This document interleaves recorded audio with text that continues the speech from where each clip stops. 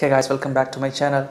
After a long time, I'm talking about a topic actually today. So without further delay, let's get started. So in this video, we are going to see how to find the cardinal directions. That is east, west, north, south. So very easily uh, at any location using the direction of sun. The actually the sunrise direction. Okay.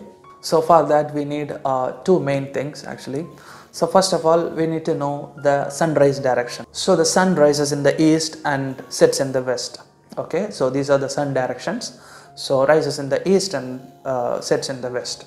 And the second thing you should know is the order of uh, directions, cardinal directions. So we have an order actually east, west, north, south. This is the order 1, 2, 3, 4. East, west, north, south.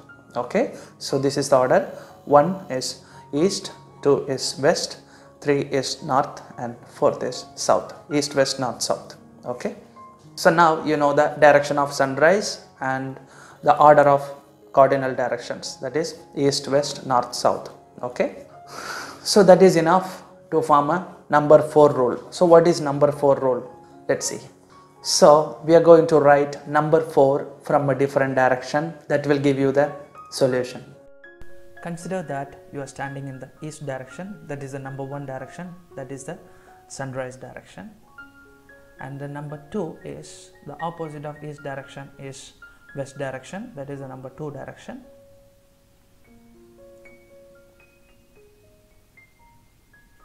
And the third direction is north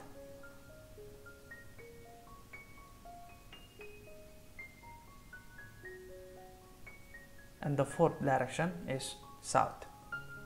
So writing a 4 in a different direction if you see that from south side it will looks like a number 4 so that's why we are calling it as number 4 rule. Click subscribe for more videos and thanks for watching